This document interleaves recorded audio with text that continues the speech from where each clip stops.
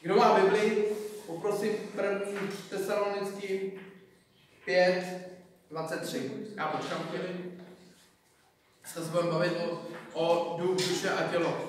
Trošku si to rozebereme víc do hloubky a věřím tomu, že nás to, že nás to požehná. Takže 5, 23 tesalonickým. Sám Bůh pokoje nech vás celé posvětí a zachová vašeho ducha, duši i tělo bez úrazu a poskvrny do příchodu našeho Pána Ježíše. Amen. Amen. Sám duch pokoje nech posvětí co? Vašeho ducha, duši i tělo. To znamená, že duch, duše a tělo asi víme, že my, jsme, my se skládáme jakoby naše nejenom z těla, ale duch, duše i tělo. Asi víme, minule jsme se bavili o tom, že duch eh, je část, která je znovu zrozená, narozená z Boha. A pak duše, která je, eh, kterou musíme obnovit Božím slovem a pak je tělo. Jsou tady i otázky k tomu a to je fakt zajímavé. Dneska se to fakt probereme a koukám se z jakého úhlu eh, ze všech stran na ducha, duše i tělo. Ale je tady, je tady otázka jedna zajímavá, kdy, kdy jakoby je, se mi ptali hodně lidí, jako víc, jestli tělo teda, protože hodně lidí to má zafixovaný, že tělo, dokud žijeme tady na této zemi, tak že tělo bude řešit. Jo? A nebo, a nebo jak to teda je, jakoby, jestli můžeme být, jak, jak to je. Ale tady, když jsme teď četli, tak jsme četli, že a, nech sám Bůh pokoje posvětí a zachová vašeho ducha, tělo i duši. Takže je to možný, ale pojďme si to dneska říct, protože naše mysl říká, že to není možné. Ale já jsem tady nakreslil jednu věc, ale ještě předtím nakreslím takový to asi znáte, všichni. Volský oko.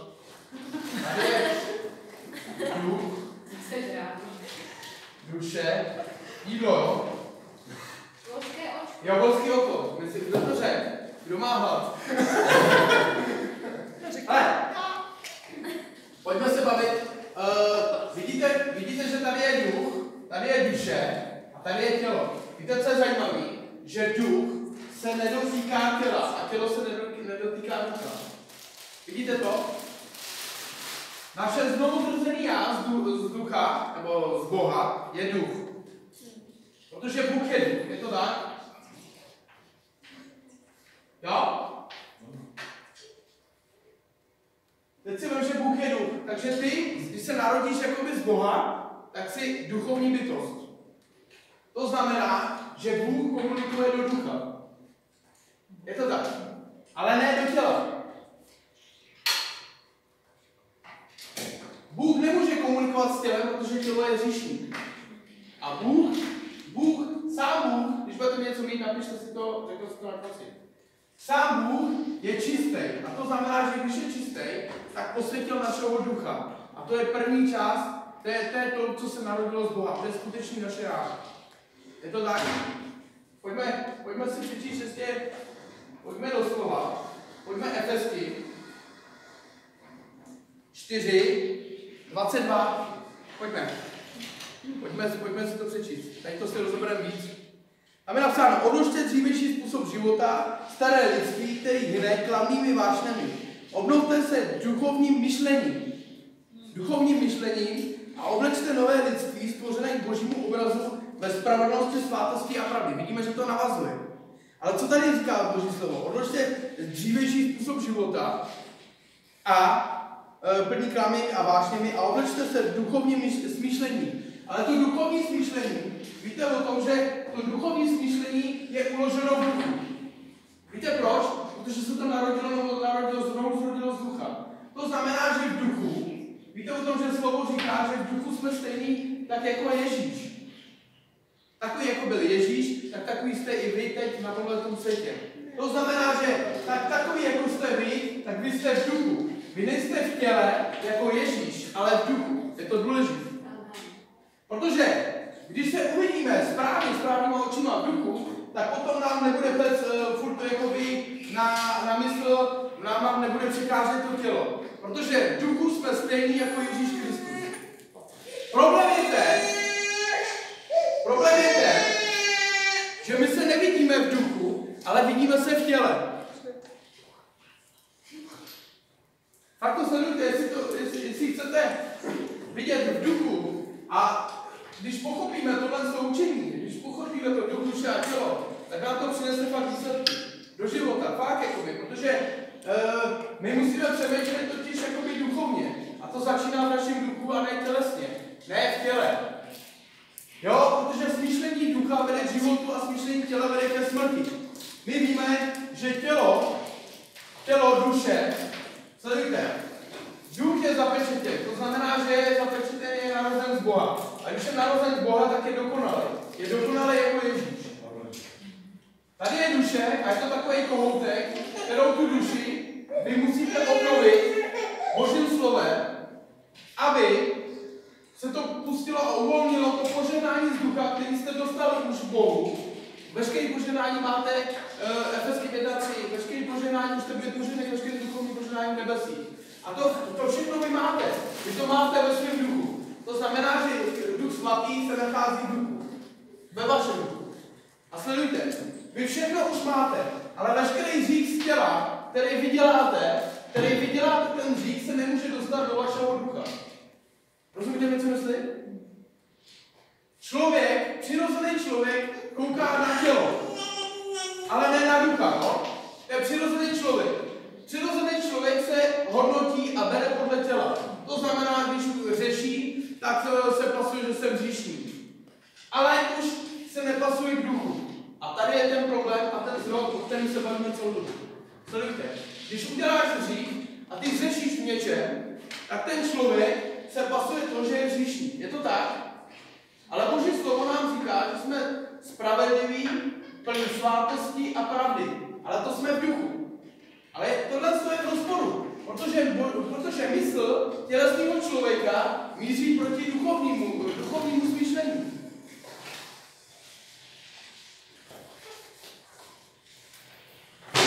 Duchu svatý děkuji ti ve jménu Ježíše. Je tak učení důležitý, když nás osvítíš naší, na náš duchovní zrak ve jménu Ježíše. Sledujte, takže tělo míří proti duchu a duch proti tělu navzájem se odporují. Co, co, co se stane, nebo co uděláme, co je náš cíl k tomu, aby se to sjednotilo všechno? Co to je? Je to skrz duši, skrz, skrz mysl. Sledujte, když dostaneme do duše Boží slovo, to je to semeno, tak Boží slovo otvírá ten proud, ten kohoutek do těla a tam se uvolňuje Boží moc. Rozumíte, co myslím? To znamená, že duše je neobnovená. Duch je 100%. A teď si ve, že když e, duše je neobnovená, tělo je neobnovený, tak e, duch, když je 100%, tak my pořád jednáme podle starého já. To je to starý já, tohle je starý já. Tohle je nový já, zrozený z Boha. A když my jednáme v tom, v té tělesné mysli, tak se koukáme právě na to, že když řešíme, že jsme nedokonalí, ale Boží slovo říká, že jsme spravedliví. A tady už je ten rozpor, kdy ty se nevidíš jako dokonalá, ale spraved, ani spravedlivá, ale jako, že se vidíš jako hříšný. Rozumíte co myslím? Protože vaše oči koukají na to, co dělají špatně. Ale Bůh kouká na vašeho ducha, on nekouká na vaše tělo. A když Bůh kouká na, vaše, na vašeho ducha, to znamená, že vy byste se měli vidět v duchu. Protože taky je, jaký je on, taky jste i vy. To znamená, že vy, pro někoho je těžký se pasovat jakoby, k tomu, že ty jsi stejná jako Ježíš. Ale když budeme přemýšlet duchovně, tak víme, že v duchu jsme stejní jako on. Sláva Bohu za to. Protože to, to znovu zrození toho, eh, toho ducha, našeho ducha, duchem svatým, je duch, který je zavařený jako ty okurky a tam se nedostane špína, špína tohohle těla. Proto Bůh komunikuje s duchu a ne s hříšným tělem. Rozumíte mi, co myslím? Je to důležité. Protože tvoje tělo skutečně nejsi ty. To není tvý já. Tvý já je duch, znovu zrozený duch. Ale proto, aby si mohl chodit tak na tuto zemi, jako Ježíš dostal tělo, proč?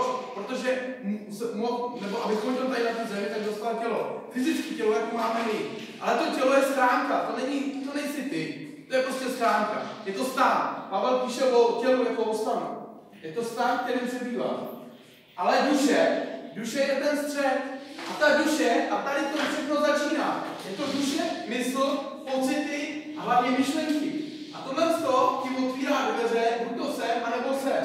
Buď to se chováš jako člověk, který nezná Boha, anebo se chováš člověk, nezná Boha. Ale klíčem k tomuhle závěru, aby to propuštěný je slovo Boží. Znamená to, že slovo Boží se musí stát jedno s tvým duchem.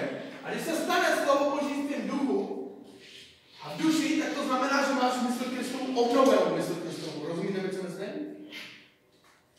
A vy potom jednáte jako Bůh, jako Ježíš Kristus, jako slovo Boží. Protože slovo je Kristus. A to slovo se stalo tělem a přebylo mezi námi. A to slovo, jako semeno, my musíme uvolnit tím slovem e, to do těla, proto nejsme uzdraví, proto někdy nevidíme. Ale my čteme v Bibli, že Pavlův stín nebo Petru, Pavlův, no Petru stín uzdravoval nemocný. My, my, Pavlův, jo, Pavlův to byl. Petru. Tak Petru stín, že uzdravoval nemocný. My čteme jakoby různý takovéhle věci, ale nevidíme to jako v dnešní době. Ale přitom, jakoby proč to nevidíme? Protože jakoby lidé dneska právě, že uh, se pohybují spíš jakoby v té přirozené části než v té duchovní. Je to moc důležité. Protože sleduj, vem si sám, jakoby. Jsme tady, jsme tady, který si na nic nehrajou, ale víte, že je možný všechno u Boha. A víte, že když se to stalo, když byli učeníci uh, z Ježíše, tak proč, proč se to dneska neděje? Vemte si otázku, jakoby, proč dneska jakoby nevidíme tyhle ty věci? Proč? Protože nemůžeme pustit právě že ten tok toho, toho, toho uzávěru, ten uzávěr je furt zavřený. A Duch Svatý chce proudit skrze tělo e, ven a, a skrze uzdravení, aby jsme mohli se dotýkat uzdravení, aby lidi mohli být uzdravení. Ale my, pokud nemáme obnovenou, uh, obnovenou mysl Božím slovem, tak to znamená, že my bráníme Duchu Svatému, aby on, aby on, on jednal. Rozumíte mi, co myslím? K tomuhle, k té mysli, té mysli je zapotřebí víra. Víra? Boha. To znamená ve slovo. Víra, víra v Boha. Bo, Bůh je slovo. Rozumíš co myslím? Teď si vem, teď si vem, že slovo, víra a láska ti otevře pro, pro požehnání, jako by skrz tělo. My jsme byli požehnaní ještě duchovní požehnání v nebesích. A když jsme byli požehnaní, tak jsme byli požehnaní v duchu. Takže to znamená, že my to máme. My nepotřebujeme čekat na nějaké pomazání, protože už je v našem duchu a ten duch svatý. Ale proto, aby jsme žili ten požehnaný život, tak potřebujeme, aby jsme se, se jakoby s duchem a mysl stala jedno. Jako je Ježíš, jako je Bůh a jako je Duch Svatý jedno, tak my musíme být právě jedno s tou myslí, obnovenou myslí a duchem. Protože rozumíte mi, co, co myslím? V duchu je všechno, nachází se všechno. A my všechno, co potřebujeme, už máme v sobě. Už nám to Ježíš Kristus daroval. Ale Poslouchejte dobře, nám to daroval ne z naší zásluhy, ale z toho, že prolil krev a řekl, vemte si to. My už vlastně všechno máme. Akorát my mu to musíme přijmout vírou. A vírou přijímáme díky tomu, že stojíme na slově a věříme slovu. A tím otevíráme ten chod a ten proud požehnání ven. Tím uvolňujeme to požehnání. Proto, proto vidíme někdy, občas, občas vidíme takový ty, eh, že Bůh se fakt dotýká někoho, jo, démony a to, ale to je, to je díky tomu, že my nebráníme Duchu Svatýmu. Rozumíte mi, co myslím? Že prostě proudíme a necháme, necháváme absolutně Ducha Svatého prostě jednat. Pojďme ještě do slova. Pojďme Efesky. Uh, druhá kapitola. I vy jste byli mrtví pro své viny a hříchy. V níž jste dříve žili podle běhu tohoto světa. Poslušný vládce nadzemských mocí ducha, působícího dosud v těch, kteří zdorují Bohu. To znamená, a teď je to důležitý, teď sledujte, že duch není narozen u, u lidí, kteří nemají Boha. Takže nevěřící člověk, duch, duše a tělo, ale ten duch je mrtvý, uh, mrtvý, protože to není obnovený narození z ducha, není tam duch svatý. Nefouknul znova, jako Ježíš přišel, fouknul na učitníky a uh, řekl, daroval, nebo prostě obživil zase zpátky jedna z pořadů. Rozumíte mi? Takže člověk je mrtvý. To znamená, že přemýšlí, nemá brát z čeho, protože není stejný jako Ježíš, protože není narozený.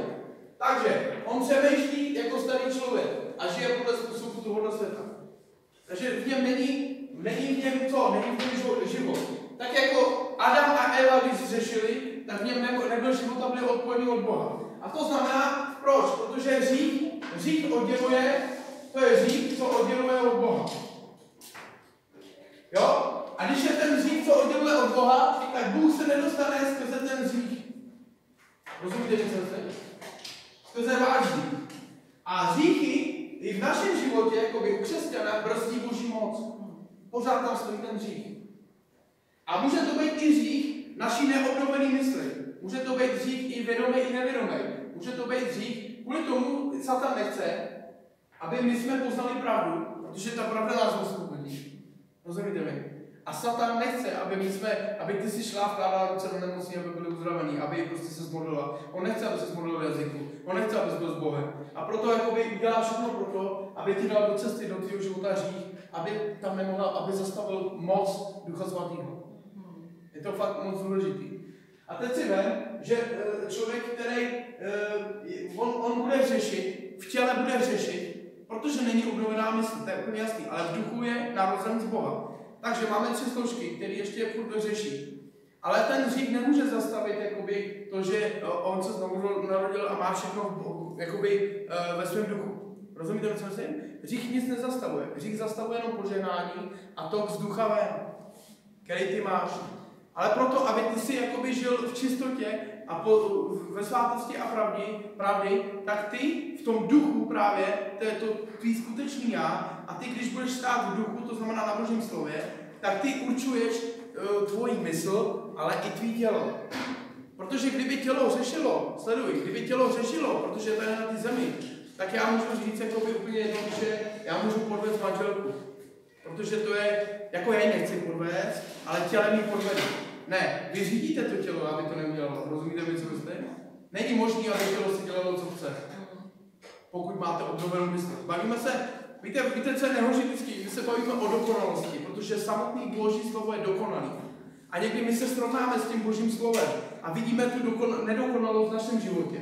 Ale to je jasný, protože co, kdo jiný tě má vytáhnout než to slovo? Nesrovnávejte se se, s Božím slovem, um, že padáte a že, že ne. Spíš na, naopak, zapněte pětku a jestli to je tak v tom životě, tak Bože, děkuji ti, že jsi ukázal cestu, děkuji ti, že můžu jít. To je pokora, to je pokora v srdci. A Bůh říká, si můžu něco udělat, a ty porosteš. Ale pokud budeme zdorovat našemu myšlení a budeme si myslet, že jsme, že jsme uh, já nevím, uh, líp, že tomu rozumíme než Boží slovo nebo než Bůh, tak, na, tak zastavujeme veškeré tyhle věci. I my všichni jsme k ním kdysi patřili, žili jsme sklonům svého těla. Poslouchejte, žili jsme sklonům svého těla. Rozumíte mi? Co to, proč to píše Boží slovo? Žili jsme sklonům svého těla. Dali jsme se ve svými sobeckými zájmy a tím jsme nutně propadli Božímu soudu, tak jako ostatní. Protože ty, když jakoby žiješ v těle, tak nežiješ, žiješ v říchu. Ať už vědomý nebo nevědomý. My jsme tady proto, aby jsme eh, šli z říchu uh, do života, to znamená do slova Božího. Rozumíte mi, co myslím? Ale ty, když žiješ jako podle těch choutek, proto chodíme do církve, aby jsme se my navzájem pozbuzovali, ale to neznamená, že když ty řešíš, tak jakoby, že už se nemůžeš nebo se cítíš blbě nebo špatně, ne. Sleduj. Boží slovo říká, že, když, že spravedlivý sedmkrát spadne. A znova jde. Takže ty, když řešíš, a víš to, že řešíš, ty víš, ty víš, že uděláš nějaký hřích, tak když ti to Duch Svatý ukáže, tak už ten hřích prostě nebudeš dělat, otočíš se mu zády a to je pukání. Když přivedli před Ježíše Magdalenu, tak řekli, hele, ona smilnila a co Ježíš udělal? Kdo tě odsoudí? Nikdo tě neodsoudil, ani já tě neodsoudím. On jí nevyčítal to, hele, ty máš hřích, ty si dělal tam to, ne, musíš se vrátit. Ne, on jí řekl, běž a už to nedělej. Máš odpuštěno. On jí nevyčítal nic, on jí nic nevyčítal. On jí řekl, běž, už máš odpuštěno, nedělej to. A tak je to i v našem životě spravedlivého. Neznamená to, že nejsi spravedlivý, pokud řešíš a pokud činíš pokání. Furt jsi spravedlivý. Rozumíte mi, co myslím? Nikdo ti nemůže vzít tyhle ty věci, protože ve svém duchu už jsi spravedlivá a zůstaneš spravedlivá, i když řešíš. Jenomže naše, náš mozek to nebere. On říká, řeším a nemůžu být spravedlivý. Jo, Boží slovo říká, že jsi spravedlivý, ale ty nebudeš věřit tomu, čemu vidíš, nebo co, co vnímáš podle pěti smyslů, které jsou v těle ale budeš věřit podle ducha, který, to znamená víra, že věříš tomu, co říká slovo. Jsem spravedlivá. Rozumíš mi? Ty upadneš v říchu, ale furt jsi spravedlivá. Ale důležité je, že si to uvědomíš, už to neděláš tak, jako řekl Ježíš, a jdeš a jsi očistěna. Už prostě konec. A jdeš dál úplně znovu do říchu. Víte o tom, že spravedlivý sedmkrát spadne, Ježíš tomu myslel, že spadne několikrát. On neříká sedmkrát, jako přesně sedmkrát a víc nemůžeš. On říká, že spadne spravedlivý. Protože jdeme, ale miminko, když se učí chodit, tak se učí chodit a spadne. Ale bez toho se to nenaučí a to neznamená, že není moje dítě. Rozumíte mi, co myslím? Takhle to je u Boha. Vy jste jeho děti a budete a budete spravedlivý vždycky. Ale to znamená, že my se musíme učit tím, že obnovujeme Boží, bo, uh, jo, mysl Kristovu, my jsme měli mysl Kristovu, my máme. Ale rozumíte mi, že my musíme obnovit to starého člověka a zamést ho úplně někam jinam a stát jako nový v Kristu Ježíši. Pojďme si to dočíst. Ale Bůh, čtyřka, eh, verš. Ale Bůh bohatý milosrdenství z velké lásky, jistě nás zamiloval, probudil nás k životu spolu s Kristem, když jsme byli mrtví pro své hříchy. Milostí jste spasení, spolu s ním nás křísil a spolu s ním uvedl na nebeský trůn v Kristu Ježíši. Já bych chtěl říct jednu věc, jo. Milosrdenství znamená odpuštění. A vemte si, že Bůh nám přináší odpuštění. To znamená milosrdenství. A my bychom se měli stát milosrdenstvím, protože když zadržujeme hříchy druhé, tak nám budou zadrženy taky. Víte proč? Protože my se máme stát jedním velkým odpuštěním. To znamená, že když někdo řeší, tak nebudeme ukazovat ten hřích, jako že řeší a furt to z do hlavy, ale ukážeme mu, že to není dobrý a vytáhneme ho z toho a ukážeme mu pravdu, aby ta pravda ho vysvobodila a aby on, jestli pak bude vědomě řešit, tak to už je potom už jeho svědomí mezi Bohem a mezi ním. Ale nemůžeme se vymlouvat že víme ten hřích a furt řešíme a furt děláme ten hřích a děláme ten hřích a Bůh mi odpustí a činí pokání. To není pokání. Není to pokání. Pokání znamená, že už to neděláš. Že se odvrátíš od toho zády a už to neděláš. O toho to ti Duch Svatý ukazuje. To je hřích. To je hřích. A když ty to víš ve svém duchu, ve svém srdci, že to je hřích, že to je špatně, tak ty řešíš proti Bohu. Rozumíš mi, co myslím? Ale někdo si namlouvá totiž, že upadne a řekne, spravedlivý spadne a sedmkrát tak jako by. A pak upadne, ten samý hřích upadne za týden a pak zase za 14 a teď mi Bůh odpustí. To je špatně. To není pokání, to je vědomý hřích a pokračování hříchu. Pokání znamená to, že už to nedělám. Že se odvrátím od toho způsobu myšlení a života. To je, hřích, eh, to je pokání, pravý pokání, boží pokání. A tak eh, rozumíte mi,